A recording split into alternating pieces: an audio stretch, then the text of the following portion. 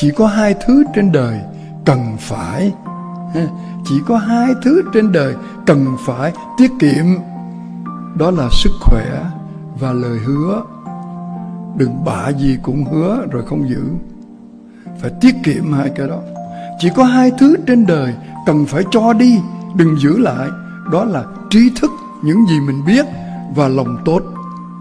Nó không mất đâu mà nó tăng thêm chỉ có hai thứ trên đời cần phải thay đổi luôn luôn. Đó là chính bản thân mình và những nhận thức của mình về người khác và về chính mình.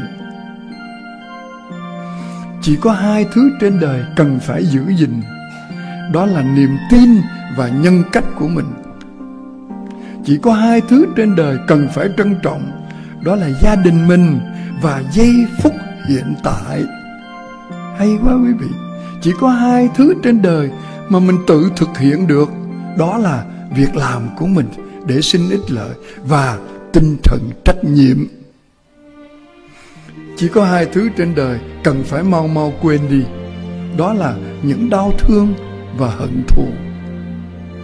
Chỉ có hai thứ trên đời cần khắc ghi thật sâu trong tim, đó là công ơn cha mẹ và sự giúp đỡ của bất kỳ ai. Có hai thứ trên đời, cần phải để thành công. Cần phải có để mà mình thành công, đó là một đam mê chân chính và một sự kiên nhẫn tột cùng. Muốn thành công cái gì cũng phải có hai cái đó. Có hai thứ trên đời cần phải tránh tuyệt đối, không nên làm. Thứ nhất, đừng hại bất kỳ ai. Và thứ hai, đừng phản bội bao giờ. Không nên làm có hai thứ trên đời cần phải bảo vệ một cách trân trọng, đó là danh dự của mình và lẽ phải. Có hai thứ trên đời cần phải chấp nhận. Không lựa nữa, đó là cái chết và sự khác biệt với người khác. Có hai thứ trên đời cần phải control nó, kiểm soát đó đó là bản năng dục vọng của mình và những cảm xúc không kiềm chế của mình có hai thứ trên đời cần phải tránh thật xa. Đó là cám dỗ và tính ích kỷ. Có hai thứ trên đời cần phải xài và đừng hà tiện. Đó là tiền bạc và những kinh nghiệm mình đã thu được. Cứ chia sẻ cho người khác thì kinh nghiệm của mình nó tăng thêm có hai thứ trên đời không được sợ.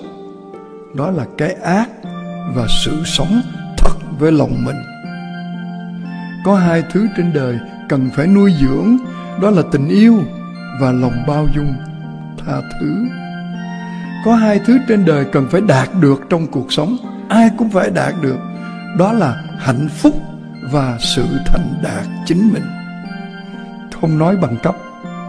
Có hai thứ trên đời cần phải luôn sẵn sàng đón nhận, đó là những thử thách khó khăn và ngày mai